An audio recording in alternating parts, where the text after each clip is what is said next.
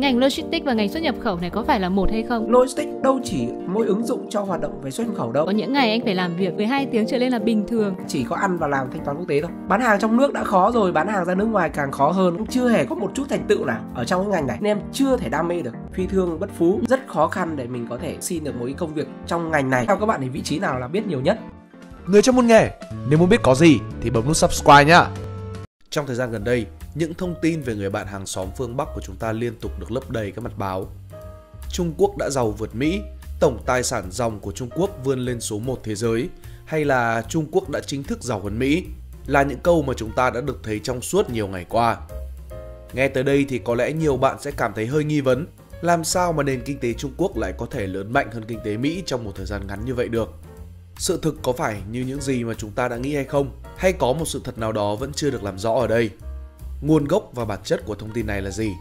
Nếu như các bạn vẫn đang có những câu hỏi như trên thì xin chúc mừng, mình ở đây hôm nay trong video này để giải thích cho các bạn nghe tất cả những điều đó. Ok, let's go, hãy cùng tìm hiểu thế nào.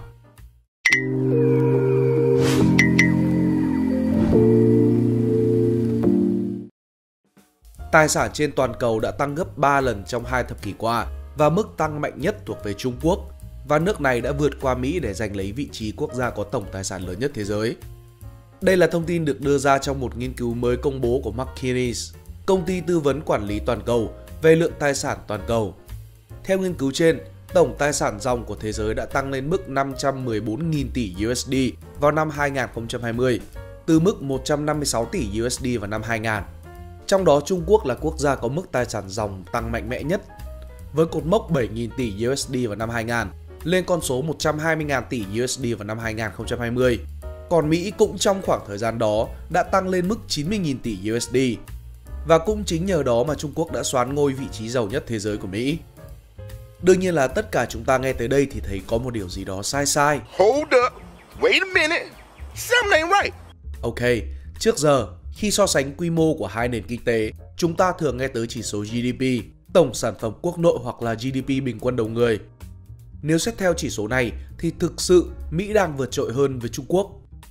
Cụ thể theo Wikipedia, trích theo số liệu của Quỹ tiền tệ quốc tế thì GDP tính tới thời điểm hiện tại trong năm 2021 của Mỹ là 83.844 tỷ 988 triệu USD.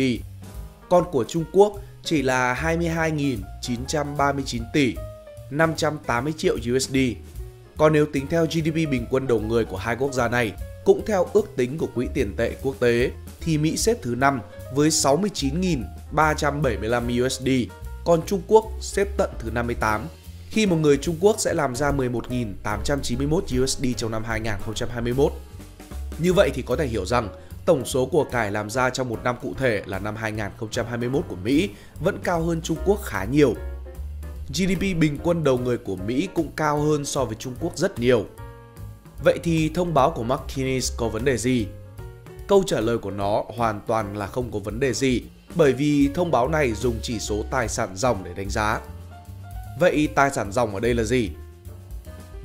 Theo như bản báo cáo thì McKinsey quy định tài sản dòng bao gồm 3 giá trị sau. Đầu tiên là bất động sản, tiếp đến là cơ sở hạ tầng, máy móc, thiết bị và cuối cùng là các tài sản vô hình như bằng sáng chế hay là tài sản trí tuệ các tài sản tài chính không được McKinsey đưa vào dữ liệu tài sản toàn cầu vì các tài sản này bị cân bằng bởi các nghĩa vụ nợ. Nói nôm na là tiền mặt hay một tài sản khác nếu có tính thì phải tính cả nợ vào nên tạm thời McKinsey chưa tính tới. Chẳng hạn, trái phiếu doanh nghiệp do đầu tư cá nhân nắm giữ được cân bằng bởi nghĩa vụ thu nợ của doanh nghiệp phát hành trái phiếu đối với nhà đầu tư đó. Hiểu nôm na, theo báo cáo này, tổng tài sản mà người Trung Quốc tích lũy được từ năm 2000 tới năm 2020 là 120.000 tỷ USD. Nếu các bạn lưu ý, giá trị của các tài sản này phụ thuộc khá nhiều vào các biến động giá. McKinsey cũng cho hay 68% giá trị tài sản dòng của toàn cầu đang tồn tại dưới dạng bất động sản. Từ đó chúng ta có thể liên hệ tới tình trạng bong bóng bất động sản ở Trung Quốc trong thời gian gần đây đã thổi giá của bất động sản này lên tới tận trời xanh. Đến mức chính phủ Trung Quốc phải đưa ra các giới hạn nợ hay còn được gọi về cái tên là lằn danh đỏ cho các tập đoàn bất động sản của Trung Quốc. Chính vì giá bất động sản được thổi cao nên đó là một trong những yếu tố khiến tổng tài sản dòng của Trung Quốc tăng vọt trong những năm vừa qua. Khi giá bất động sản ở Mỹ thì khá bình ổn và có mức tăng chậm nên đó là lý do mà tổng tài sản dòng của Trung Quốc cũng đã vượt Mỹ. Ngoài ra còn một yếu tố nữa là số lượng bằng sáng chế. Trung Quốc cũng đã vượt Mỹ từ đầu năm 2020, chúng ta sẽ bàn chi tiết ở phần sau. Trung Quốc chiếm khoảng 1 phần 3 giá trị tài sản dòng tăng thêm. Tài sản dòng của Trung Quốc tăng 113.000 tỷ USD lên mức 120.000 tỷ USD vào năm 2020 từ mức 7.000 tỷ USD vào năm 2000. Cũng phải nói thêm rằng, năm 2001, tức là một năm sau đó, đã diễn ra một sự kiện mang tính bước ngoặt về nền kinh tế của Trung Quốc. Đó là việc nước này gia nhập Tổ chức Thương mại Thế giới WTO. Việc gia nhập Tổ chức Thương mại Thế giới như một cách hành động bỏ phong ấn với con rồng Trung Quốc. Với việc thị trường thương mại được mở rộng, không quá khi nói rằng năm 2001 là năm mà Trung Quốc có bước tiến đầu tiên cho quá trình lấy lại vị thế bá chủ của mình. Trong cùng khoảng thời gian, tính từ năm 2001, tổng tài sản dòng của Mỹ tăng thêm 50.000 tỷ USD, của Nhật Bản tăng thêm 3.000 tỷ USD, của Đức và Pháp tăng thêm 14.000 tỷ USD mỗi nước, của Anh, Canada và Australia tăng 7.000 tỷ USD mỗi nước. Sự gia tăng mạnh mẽ của tài sản toàn cầu trong hai thập kỷ qua đã vượt qua mức tăng của tổng sản phẩm trong nước GDP toàn cầu và được đẩy mạnh bởi đà leo thang của giá nhà đất tại nhiều quốc gia trong môi trường lãi suất giảm sâu Lãi suất giảm sâu đồng nghĩa với việc tiền sẽ được bơm vào thị trường và nó sẽ kích thích việc sở hữu tài sản. Tiền đổ vào bất động sản càng nhiều thì giá bất động sản càng tăng. Báo cáo phát hiện cho thấy rằng đặt trong tương quan so sánh với thu nhập, giá bất động sản toàn cầu đang tăng cao khoảng 50% với mức bình quân dài hạn. Điều này đặt ra một câu hỏi về tính bền vững của sự bùng nổ giá trị tài sản của thế giới. Giá bất động sản tăng cao khiến việc sở hữu nhà vượt khỏi tầm tay của nhiều người và đặt ra nguy cơ khủng hoảng tài chính tương tự như khủng hoảng ở Mỹ hồi năm 2008 khi vỡ bong bóng bất động sản. Trung Quốc đang đối mặt với rủi ro tương tự khi cuộc khủng hoảng thanh khoản ở công ty địa ốc khổng lồ China Evergrande đang có những dấu hiệu loang rộng trong ngành công nghiệp bất động sản của nước này. Trung Quốc vượt Mỹ về hồ sơ đăng ký bằng sáng chế. Có một sự thật là từ đầu năm 2020, Trung Quốc đã trở thành quốc gia đứng đầu thế giới về số lượng bằng sáng chế. Trung Quốc đã chính thức trở thành quốc gia đăng ký bằng sáng chế nhiều nhất thế giới, xoán ngôi Mỹ sau hơn 4 thập kỷ vào ngày 7 tháng 4 năm 2020. Năm 2019, Trung Quốc đã từng tạo ra một kỷ lục với 265.800 đơn xin cấp bằng sáng chế quốc tế đã được nộp, tăng 5,2% so với năm 2018. Tổ chức Sở hữu trí tuệ thế giới WIPO một trong những cơ quan chuyên môn của Liên Hợp Quốc đã công bố trong báo cáo thường niên. Hệ thống đăng ký bằng sáng chế quốc tế của WIPO bao gồm nhiều danh mục. Trong hạng mục chính đó là Hiệp ước Hợp tác sáng chế PCT. Trung Quốc với 58.990 hồ sơ lần đầu tiên vươn lên đứng đầu bảng xếp hạng kể từ khi hệ thống có hiệu lực từ năm 1978. Theo sau lần lượt là Mỹ, Nhật Bản, Đức và Hàn Quốc. Đây cũng là năm thứ ba liên tiếp tập đoàn Huawei Technology của Trung Quốc đứng đầu bảng xếp hạng toàn cầu. Với 4.411 hồ sơ PCT, bất chấp chiến dịch vận động đồng minh tẩy chay Huawei của Mỹ. Trở ngại nào sẽ ngăn cản Trung Quốc? Rõ ràng Trung Quốc đã đạt được những thành quả thần kỳ sau hai thập niên phát triển vô cùng thần tốc. Những nhà lãnh đạo Trung Quốc hẳn đang mơ về một ngày mà kinh tế Trung Quốc sẽ vượt Mỹ và không phải là họ không có lý do để nghĩ về điều đó. Nhưng có một trở ngại đang khiến cho tham vọng này của Trung Quốc hoàn toàn có thể bị lung lay. Nó mang tên là dân số già. Thật vậy, kết quả điều tra dân số Trung Quốc được công bố vào tháng 5 năm 2021 cho thấy thực trạng dân số Trung Quốc có nhiều điều đáng ngại. Tốc độ tăng dân số của Trung Quốc trong thập kỷ qua là thấp nhất trong lịch sử của Trung Quốc. Tỷ lệ dân số từ 65 tuổi trở lên ở nước này đã tăng tới mức chiếm 1 phần 5 tổng số dân số.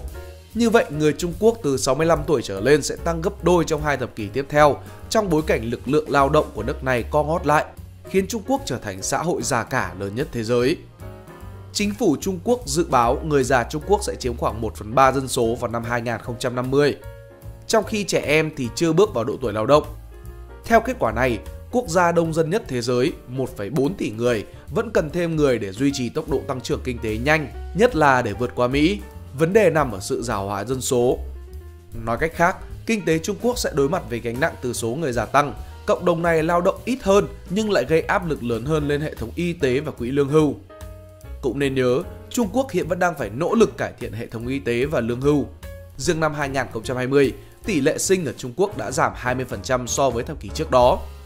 Đây là mức thấp nhất kể từ năm 1961.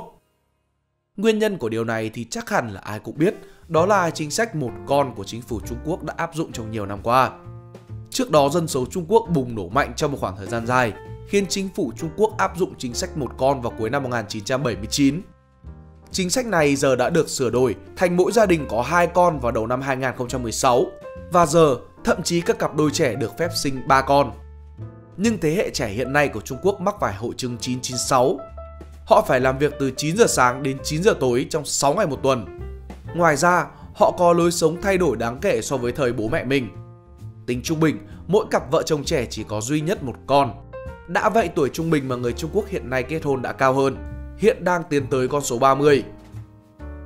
Kịch bản cho nền kinh tế Trung Quốc sắp tới Nỗi lo sợ hiện nay của Mỹ về kinh tế Trung Quốc cũng tương tự như mối lo sợ của Mỹ trước đây về sự trỗi dậy của kinh tế Nhật Bản vào giai đoạn từ thập niên 1970 đến thập niên 1990.